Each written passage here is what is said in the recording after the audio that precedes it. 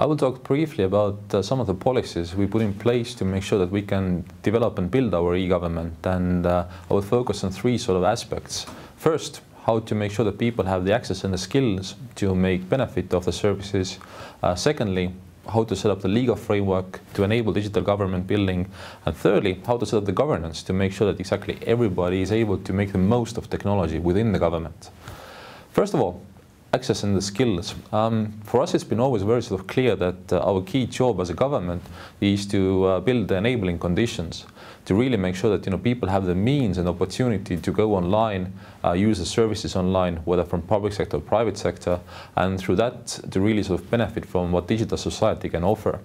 Uh, very practically speaking, this has meant a few things. First of all, uh, for example, working with uh, telecom companies and the industry to make sure that there's a fast and, and increasingly faster access to internet available in the whole of country.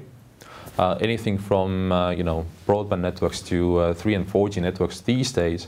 And we have been quite lucky in Estonia case that really, despite being a small country, we have sort of big distances to cover. And again, with the private sector, we have managed this way that literally the whole of country is covered with internet by this point. And this is crucial. So you can even be in the live, choose to live in a faraway, faraway forest, but still, you know, again, get access to anything online. But besides the sort of internet access, the skills are even more important that you, you have to be able to do something online. So that's why, again, together with the private sector, we have taken good care to invest over the years a lot into training and retraining of people, uh, making sure that they have the sort of uh, right knowledge to use uh, things online.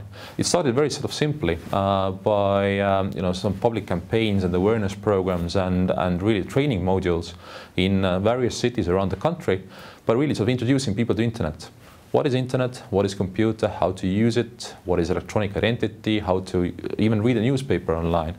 So the key thing that we have found out is that um, a lot about uh, the skills is about motivation. So if people understand that they have something to do in internet, they are very eager to learn.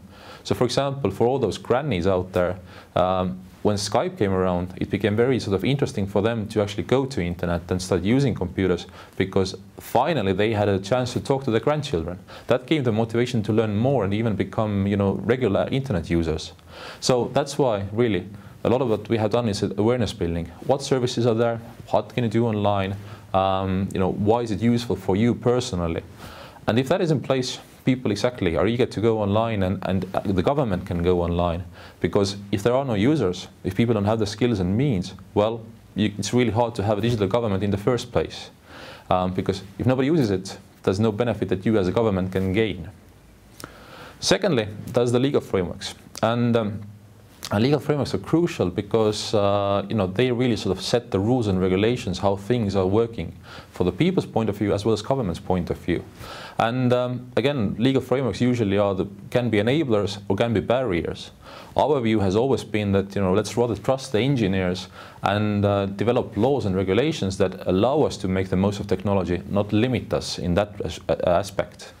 And so the hard part has been that how to do the laws that uh, don't follow, let's say, paper logic, as it is called, but rather exactly laws that take into account what are the technological possibilities and how to uh, really enable government procedures, services, back office operations to use the latest technology out there. So basically exactly to get the efficiency gains. I can give an example. Um, so um, you can do a very simple test, even in your regulations and laws in your country. Um, take a look into the laws and see how many times something like paper or document has been spelled. Each time it's there, basically there's a paper logic involved. Instead, it could be you know about data or information. So uh, because that's what really IT is about. So approaching the legal frameworks from a technology point of view is really really crucial. Easier said than done but again, you have to, if you start with this, it's very easy then exactly to set up the right sort of uh, fundamental sort of enabling conditions in place. I should also say one more thing about Estonia and the legal framework, that um, we don't have really uh, special IT laws in our country. Rather, we have worked with other laws to make sure that they are sort of IT friendly. So to give an example, the Public Information Act, in our case, is not about how to access data online, but rather how to access any data and how to safeguard any data. And finally, and the third sort of block of policies uh, revolves around governance, how to set up the conditions that the government can move fast enough in digital front, but at the same time, uh, you know, that there's a strategy in place and, and it's a coordinated action. We have tried and experimented with quite a few sort of different models of governance, uh, IT governance within government.